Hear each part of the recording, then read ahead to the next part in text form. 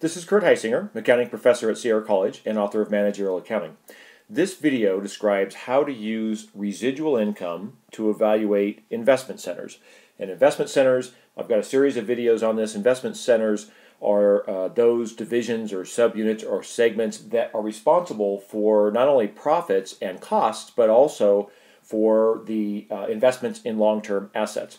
And there are many different measures that can be used to evaluate investment centers and the managers of investment centers, and this is one of them.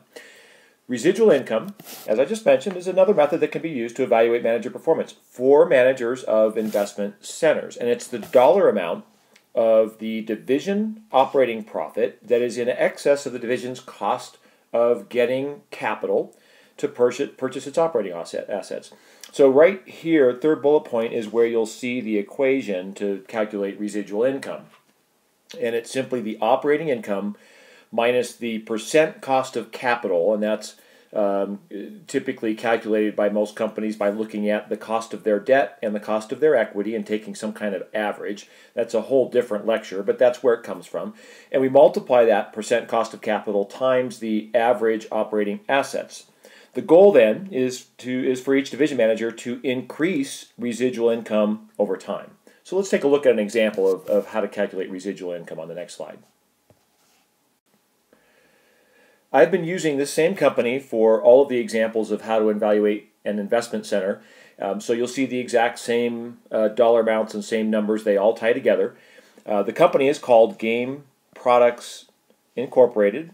And this company has three different divisions. We've got the sporting goods division that you'll see right here. We've got the board games division and the computer games division. And what we're going to do here is to calculate the residual income for each of these divisions. And as I mentioned, I have a video on how to find the operating profit margin uh, ratio and evaluating the divisions just using that. I've got a video on how to use return on investment to evaluate each of these divisions, so you can take a look at that as well. And now we're looking at how to find the residual income for each division. And again, the residual income formula is right up here. You'll see it here. It's the operating income minus the percent cost of capital times the average operating assets.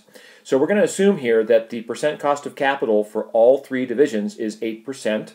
The operating income numbers are shown here. So we'll just take a look at the sporting goods division, and then you can look at the other divisions separately if you like to see how those calculations are done. But we'll, we'll focus on the sporting goods division here.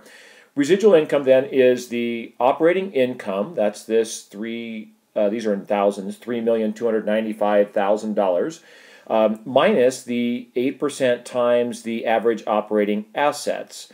And I have a separate video that talks about, I, I believe it's the return on investment video, that talks about where we get the average operating assets. So I'm not going to focus too much on that here.